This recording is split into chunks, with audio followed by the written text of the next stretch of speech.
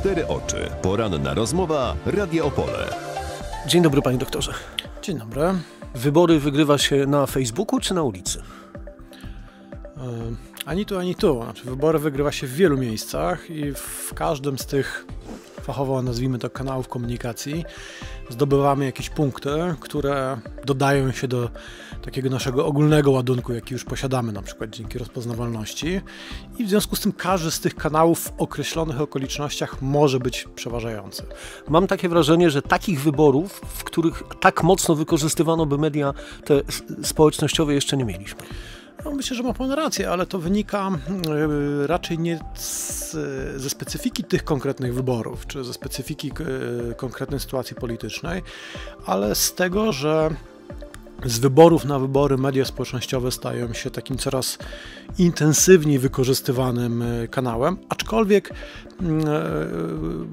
możemy tutaj zauważyć też taką bardzo jasną i widoczną zależność. Znaczy im większe wybory, im ważniejsze wybory, tym większe znaczenie tej komunikacji w mediach społecznościowych. W małych gminach jak najmniejsze, w dużych miastach większe. No w przypadku tych wyborów, jeśli obserwujemy nasz lokalny rynek polityczny, to mam wrażenie, że najbardziej aktywny jest prezydent Opola. Arkadiusz Wiśniewski. Y, badania y, tak się akurat składa, że y, są w trakcie, to znaczy... znaczy wy to badacie, tak? Prowadzimy taki mały projekt badawczy, który jakiś czas po wyborach pozwoli nam na podsumowanie tego. No, zresztą podobne badania robiliśmy przy poprzednich wyborach samorządowych i no, w tej chwili mogę mówić wyłącznie o takich odczuciach bardziej niż o konkretnych danych liczbowych. Na pewno prezydent Wiśniewski e, zalicza się do tych kandydatów najintensywniej wykorzystujących e, Facebooka. No niektórzy mówią nawet, że funkcjonuje w takiej pewnej facebookowej bańce przywiązując jakby nawet większe znaczenie do, do, tego, co się dzieje w sieci, niż do tego, co się dzieje w realu. No nie, co pan rozumie przez to, że, że nie przywiązuje wagi do tego, co się dzieje w realu? Bo ja jakby nie do końca rozumiem. E, no na pytanie. przykład woli się kontaktować ze swoimi wyborcami właśnie via sieć, a na przykład nie przychodzi na debatę. No, wydaje mi się, że e, kwestia uczestnictwa w debacie e, zawsze dla kandydata, zwłaszcza dla kandydata, który jest uważany za e, faworyta, jest, takim, jest taką kwestią strategiczną, tak? dlatego że debata daje nam szansę, ale jeżeli jesteśmy kandydatem, który ma bardzo dużą przewagę nad innymi kandydatami, albo tak siebie postrzegamy chociażby, no to wtedy wystąpienie w debacie z innymi kandydatami może dla nas oznaczać więcej ryzyk niż korzyści. Znaczy, na przykład więcej do... możemy stracić niż zyskać. Tak, po prostu. Plus możemy dodać jakby również wagi naszym e, kontrkandydatom, więc zdarza się tak czasami, że kandydaci e, rezygnują z udziału w debatach albo nie występują we wszystkich, we wszystkich debatach. No oczywiście ponosząc to ryzyko tego, że ich wyborcom może się to nie spodobać. A to nie jest troszkę też tak, że ci politycy, którzy sięgają no, po Facebook czy po Twitter, w jakiejś mierze omijają media tradycyjne? Tak, oczywiście, że tak jest. No, że to jest jedna z zalet z punktu widzenia polityków mediów społecznościowych, możliwość formułowania przekazu bezpośrednio do, y, do wyborcy. Prawda? I nie trzeba odpowiadać na trudne pytania. Nie trzeba odpowiadać na trudne pytania, zakładając, że takie trudne pytania moglibyśmy w mediach e, dostać. Mamy pełną kontrolę nad przekazem. Media, e, e, e, fachowo nazywamy to procesem mediatyzacji, prawda? To jest taki proces, w którym e, e, media wpływają na kształt przekazu politycznego. To, co mówi polityk, zanim dotrze do odbiorcy w mediach, zostaje przetworzone przez media w postaci komentarza albo w postaci pytań, które dziennikarz może e, takiemu kandydatowi stawiać. No a tutaj przy tej pełnej kontroli, o której Pan mówi, jeśli chodzi o media społecznościowe, można też samemu kształtować ten przekaz w, w tym sensie, że usuwać choćby no, niekorzystne komentarze. No oczywiście, ale to są takie zachowania, które jakby e, politycy skwapliwie wykorzystują od momentu, kiedy e, media społecznościowe stały się popularne. To jest oczywiście gra, która niesie ze sobą pewne ryzyko, bo jeżeli na przykład usuwamy komentarze, e, czyli wpływamy na dyskusję w taki sposób, powiedzmy, nie do końca czysty, to e, to się może również obrócić przeciwko nam. To znaczy, jeżeli e, zostanie to odpowiednio nagłośnione, jeżeli ludzie, których komentarze są usuwane, będą e, głośno protestowali, no to wtedy taki kandydat może zacząć być postrzegany jako ktoś, kto właśnie dyskusji unika. Ale pamiętajmy, że nie jest to aż takie oczywiste, prawda? Dlatego, że komentarz komentarzowi nierówny. Co innego, kiedy usuwa się komentarze na przykład po prostu obraźliwe. No to jest w jakiejś mierze zrozumiałe. Tak, a co innego, kiedy kasuje się komentarze na przykład dotyczące jakichś tam kwestii naprawdę merytorycznych. Czyli polemiczne po prostu. Tak, no choć pan redaktor pewnie doskonale sobie wie, że polemika polemice nierówna, e, nierówna prawda? Tak jak politycy przychodzą czasami do mediów i pomimo tego, że dostają trudne pytanie, to mogą je, potrafią je zignorować, prawda? Mówić to, co od początku chcieli więc, powiedzieć. O, są więc, mistrzowie takiego działania. Więc w tym sensie w mediach społecznościowych komunikacja wygląda również podobnie, tak? Jeżeli dostajemy komentarze, pytania, odpowiadamy na te komentarze często, które są dla nas e, przychylne, dziękujemy za pozytywne oceny, a negatywne pomijamy. Albo usuwamy znajomych, którzy nam podpadli.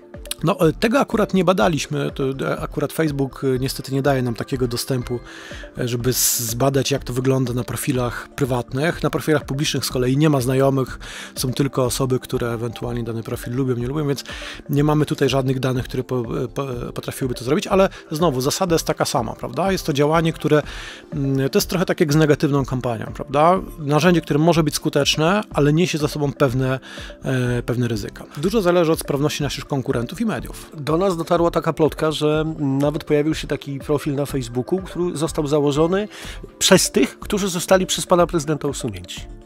No, e, takich profili, które w, w, jeden czy w inny sposób próbują wyśmiać e, jednego kandydata drugiego, wyciągnąć mu jakieś tam rzeczy, jest dosyć Prawdziwe sporo. wymyślone słabostki, tak? Tak, i to, e, to zresztą jest z punktu widzenia jakości rządzenia i samej jakości kampanii wyborczej, to jest w ogóle dosyć problematyczne. To się zresztą wpisuje w nieco szerszy problem tego, jaki jest poziom jawności prowadzony na Facebooku takie szybkie sprawdzenie e, profili wszystkich kandydatów używanych e, w, w kampanii wyborczej pokazuje, że żaden z kandydatów nie oznaczył swojego profilu tak, jakby nakazywało oznaczenie go e, jako materiału wyborczego. Tak? Na żadnym kanale nie ma napisanej informacji, że to są komunikaty w ramach kampanii wyborczej i tak dalej. I co za tym idzie również niestety, wszystkie te prześmiewcze profile, które czasami się ocierają o, o, o zwykły trolling, również no, są anonimowe, prawda? Więc to jakby wprowadza niestety dosyć poważny zamęt w głowie odbiorcy, dlatego że często celem działania takiego profilu nie jest rzetelna krytyka kandydata, tylko jego obśmianie albo wręcz wprowadzenie do obiegu jakichś plotek. Fake newsów różnego rodzaju. No nie, ja akurat tego terminu nie lubię, dlatego że on jest niepotrzebnie, że tak powiem, powiela kwestie, które zostały już nazwane. Niemniej jednak e, e, e, ogólnie mogę powiedzieć tak, tak, to znaczy zarówno wprowadzenia fałszywych informacji, jak i utrudnia weryfikację informacji po prostu niestarannie podanych i tak. No tak, bo tam liczy się szybkość podania informacji i, i często się już, już, jej nie sprawdza. Szybkość podania informacji, umiejętność wrzucenia jej w ten taki strumień, tak, czyli zbudowanie jej w taki sposób, aby z, z, zdobyła e, odpowiednią popularność w sieci, e, czyli też umiejętność promowania, powielania itd. Tak itd. Tak Zresztą często mamy takie wrażenie, że kiedy, kiedy ktoś z zewnątrz wszedłby na e, profil Facebooka jakiegoś tam kandydata, mógłby odnieść wrażenie, że on jest na przykład niezwykle popularny, bo tam jest dużo lajków, komentarzy, itd., tak itd. Tak Głębsza analiza pokazuje, że często te komentarze i te, te, te podania dalej um, funkcjonują w ramach tak naprawdę jakiejś stosunkowo ograniczonej liczby użytkowników. E, pamiętajmy zresztą, że nawet naj, e, profil prezydenta Wiśniewskiego zdaje się najpopularniejszym w tej chwili profilem, jeżeli chodzi o kandydatów na prezydenta Opola, ale on tak czy siak ma e, poniżej 10 tysięcy osób, które go polubiły. Algorytmy działania Facebooka są takie, że przeciętna informacja, która zostaje tam zamieszczona, trafia, no to trzeba by się zapytać pewnie do, o, to, o dokładne liczby administratora te, tego profilu, ale zakładam, że dociera prawdopodobnie do 10%, może 15% y, osób, które e, ten profil lubią. Siła uderzenia nie jest za wielka. Rzeczywisty zasięg nie jest aż taki e, duży, jeżeli weźmiemy pod uwagę liczbę osób uprawnionych do głosowania. Przypominam, że naszym gościem jest dzisiaj dr Błażej Chorosz, politolog z Uniwersytetu Opolskiego. Drugiej części rozmowy można posłuchać w drugim programie Radio Opole, a posłuchać i zobaczyć na naszej stronie radiopole.pl.